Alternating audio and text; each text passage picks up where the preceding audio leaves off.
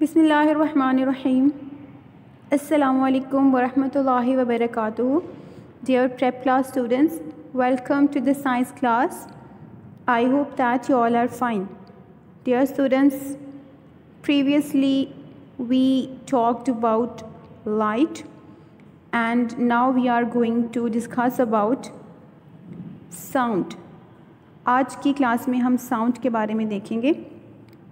As we all have experienced and we still experiences different types of sounds on daily basis. आप लोग daily basis पर different तरह के sound सुनते हैं और फॉर एग्ज़ाम्पल आप ट्रैफ़िक का जो शोर है वो सुनते हैं। इसी तरह से टॉकिंग uh, जो नॉइज़ है जब आप बातें करते हैं आपस में तो उससे जो शोर पैदा होता है। वो शोर आप सुनते हैं।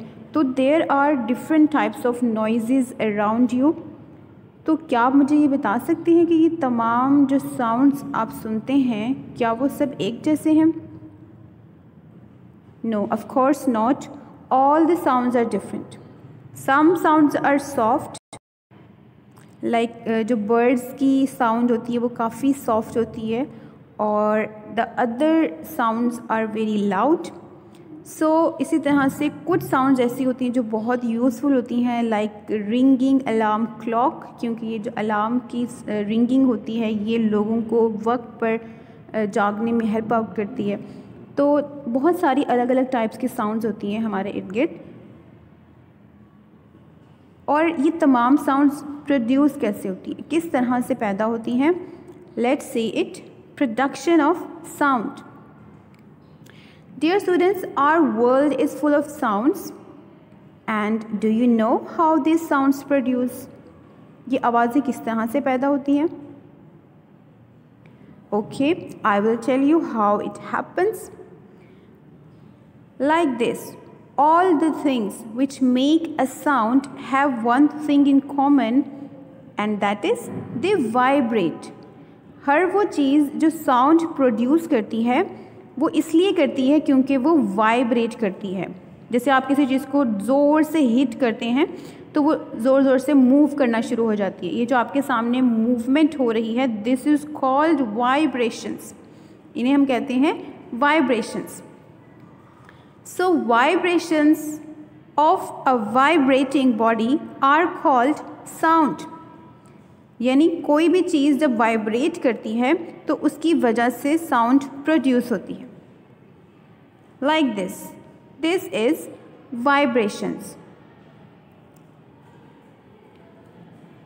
dear students there are different ways to produce the sound sound यानी कि आवाज़ पैदा करने के बहुत सारे वेज हैं, बहुत सारे अलग अलग तरीके हैं। फॉर एग्ज़ाम्पल नोक नोक यानी जब आप डोर के ऊपर नोक करते हैं दरवाज़े को खटखटाते हैं तो उससे भी एक आवाज़ प्रोड्यूस होती है। और the second way to produce the sound is blow blow यानी फूंक मारना। और इसको आप करके देख सकते हैं you can do this with the help of a bottle एक बॉटल ले लें हाफ़ उसमें पानी डाल दें, और उसके बाद आप इस तरह से उसको ब्लो करके तो आप साउंड प्रोड्यूस कर सकते हैं।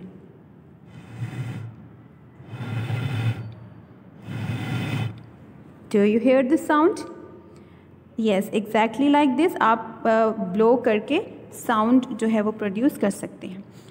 The next way to produce the sound is shake shake shake यानी कि ज़ोर ज़ोर से हिलाना, इसके लिए आप एक बॉटल ले लें, वाटर बॉटल, और उसको फिर आपने ज़ोर ज़ोर से इस तरह से शेक करना है, और आप देखेंगे कि साउंड प्रोड्यूस होगी। Like this the next way to produce sound is strike strike और स्ट्राइक क्या है कि आपने हिट करना है। जैसे आप रबर बैंड के थ्रू कर सकते हैं। और इस तरह से रबर बैंड को आप किसी चीज़ के अंदर लगा लें या फिर हाथ के थ्रू भी। आप इसको ज़ोर से छोड़ेंगे, खींच कर उसको ज़ोर से आपने छोड़ना है तो आपको फिर साउंड की जो है वो आपको इसकी आवाज़ आएगी, यानी कि साउंड प्रोड्यूस होगी। So these are the some ways to produce sound I hope you have understood this and now we are going to do the written work on the book so let's open the book now dear students open page 86 on page 86 we have the topic production of sound how the sound produced we have discussed early that uh, the sound produced if the things vibrate जब चीज़ें vibrate करती हैं vibrate का मतलब move करती हैं backward and forward आगे पीछे जब मूव करती हैं तो इस तरह की मूवमेंट से वाइब्रेशंस पैदा होती हैं और vibrations of a vibrating body are called sound waves और इन्हीं वाइब्रेशंस को हम साउंड कहते हैं। जब कोई भी चीज़ वाइब्रेट यानी मूव करेगी to and fro to and fro यानी आगे पीछे मूव करेगी तो इस तरह की मूवमेंट को कहते हैं sound so underline this line first these to and fro movements are called vibrations यानी आगे पीछे की जो मूवमेंट है हरकत है, उसे हम वाइब्रेशन कहते हैं।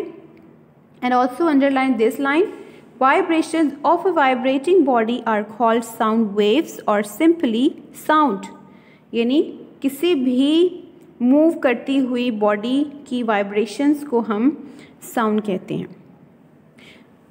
and here on this page we have activity seven this is activity 7 and what you have to do in this activity I am going to read this strike the bell with iron rod did you hear any sound touch the bell did vibrations also produce in it so what you have to do आपको इस activity में करना क्या है कि एक तो आपने बेल यूज़ करनी है बेल को आपने स्ट्राइक करना है इस आयरन रॉड से। ज़ोर से आपने इस बेल के ऊपर स्ट्राइक करना है, फिर आपको, आपने नोटिस करना है ऑब्ज़र्व करना है कि क्या आपको कोई आवाज़ आई है। और और साथ ही आपने बेल को टच करके देखना है कि क्या बेल में कोई वाइब्रेशंस भी हो रही हैं या नहीं। So let's do this so, dear students, let's do this activity. This is the bell and we have this iron rod. And I am going to hit this bell.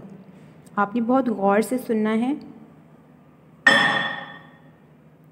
Yes. Do you hear any sound exactly आपको इसकी आवाज़ आएगी और आपने जैसे ही hit करना है, साथ ही आपने टच करके देखना है कि क्या आपको वाइब्रेशंस फील हो रही हैं या नहीं। So I am going to hit it again. जितनी ज़ोर से आप मारेंगे, उतनी ही ज़ोर से वाइब्रेशंस होंगी। ठीक है? तो ये आपने ख़ुद भी करके देखना है वाइब्रेशंस चेक करनी है और आप फील करेंगे कि वो चीज़ जो है वो वाइब्रेट कर रही है।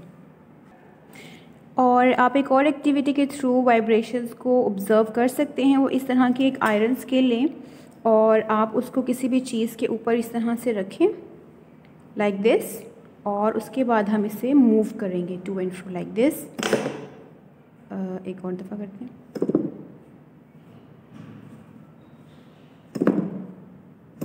ये वाइब्रेशंस हैं मूवमेंट देख रहे हैं और आपको आवाज़ भी इसकी आ रही होगी सो so, इस तरह जब भी कोई चीज़ वाइब्रेट करती है तो साउंड प्रोड्यूस होती है और now come to the book again Open page 87. On page 87 we have activity 8. And what is the activity 8? First I am going to read the statement. Try to produce sound through different ways. आपने अलग अलग तरीक़ों से sound produce करनी है। बहुत easy है। ये आप खुद भी घर में कर सकते हैं। फ़र्स्ट क्या वे है? क्या तरीका है? Knock at the door did any sound produce एक तो आपने डोर पे नोक करना है। खट खट आना है। ठीक है? जब आप डोर पे नोक करेंगे, इस तरह से तो आपको आवाज़ आएगी। सेकेंड आपने क्या करना है? Take a half filled bottle of water blow the bottle at the open end forcefully have you observe any change एक आपने प्लास्टिक की बॉटल लेनी है जो कि हाफ़ पानी से भरी हो और उसके ऊपर ये जो होती है जगह माउथ वहाँ पर आपने फिर ब्लो यानी फूंक मारनी है तो फिर आपको उसकी साउंड प्रोड्यूस हो। साउंड सुनाई देगी। ब्लो की साउंड और उसके बाद third tie a rubber band tightly on a glass now stretch out the rubber band and release it rubber band के साथ भी आप लोग खेलते ही रहते हैं और आपको बहुत अच्छे से अंदाज़ा है कि रबर बैंड को इस तरह स्ट्राइक करने पर किस तरह से वाइब्रेशंस होती हैं और साउंड प्रोड्यूस होती है। सो so, वो आपने ऑब्ज़र्व करना है। Number four put some coins in empty can और bottle then shake it forcefully एक आपने बॉटल लेनी है एम्पटी खाली बॉटल उसमें आपने कॉइन्स डालनी है। सिक्के जो होते हैं सिक्के आप उसके अंदर डालेंगे और उसके बाद आपने उसको ज़ोर ज़ोर से शेक यानी हिलाना है ज़ोर ज़ोर से शेक करना है। Did you hear any sound क्या आपको कोई आवाज़ आई है? इसे आपने ऑब्ज़र्व करना है। सो so, जब ये सब आप ऑब्ज़र्व करेंगे तो आपको ये पता चलेगा कि साउंड प्रोड्यूस करने के ये अलग अलग तरीके हैं और कौन कौन से हैं। Blow strike knock shake blow जैसे आपने बॉटल पर फूंक मारी थी, उसकी एक अलग साउंड थी।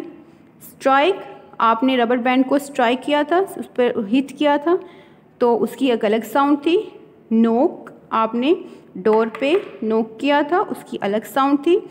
शेक और जब आपने बॉटल को शेक किया था, उसमें कॉइन्स डालकर, यानी उसको ज़ोर ज़ोर से हिलाया था, उसकी अलग साउंड थी। तो these are the four ways of sound production underline them I am going to read them again blow strike knock shake are such options actions which produce sound इन चारों को करने से आपको आवाज़ सुनाई देगी। So now open the page number 93. We are going to do the question. And we have question number 6, part number 5 here. Give any three ways of sound production. आपने sound को प्रोड्यूस करने के तीन तरीक़ों के बारे में बताना है थ्री वेज उनका आपने नाम लिखना है जो अभी हमने डिस्कस भी किए हैं like blow strike knock shake ये फोर हैं इनमें से हम थ्री वेज अपनी नोटबुक पर राइट कर लेते हैं so now open your notebooks and